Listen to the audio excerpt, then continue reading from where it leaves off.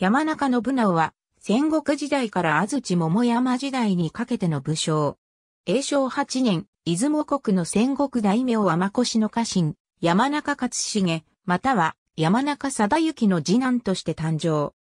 若干にして、家を辞して、諸国を遍歴して、摂津国伊丹に至り、茨城城主、中川清秀と交わり、その推挙により、伊丹有岡城主、荒木村重に仕えた。村重よりその中金を称せられ、新国の名刀と、抱え社地門どころの人幕を授かったため、以降はなお信直と改めた。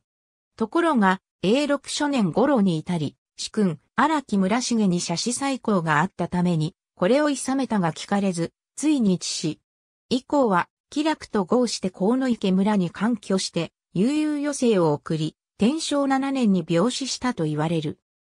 墓所について、系図には、山中気楽聖節国川辺郡清澄寺荘と記されてあるが現在は見当たらず、大阪市中央区中、寺町2丁目の秋高庵2764年に、住職によって建立された山中信直夫妻の供養塔が境内墓地に残されてあり、その供養塔には山中信直の没年日を永禄8年8月16日没と刻まれてあるが、これは誤りである。